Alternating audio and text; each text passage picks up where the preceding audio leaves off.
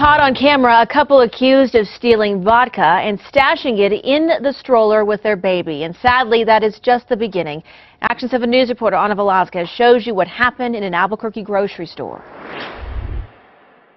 Caught on surveillance video, a man in a blue basketball jersey bent over a baby stroller. Police say he and the woman had just stashed three bottles of vodka in it underneath their sleeping one-year-old baby. Police say employees here tried to stop the couple from leaving, but the baby's father pulled a knife on them.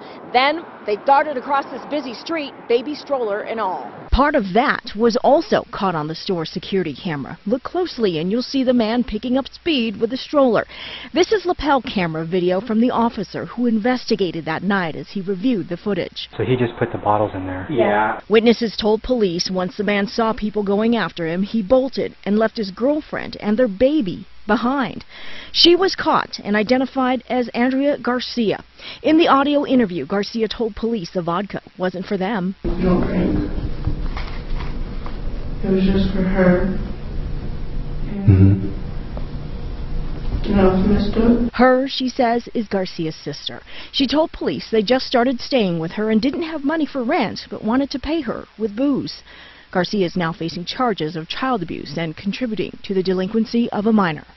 In Northwest Albuquerque, Ana Velasquez, KOAT Action 7 News. Police say the baby was handed over to CYFD for the night. Due to privacy laws, it's not known if she is still in protective custody.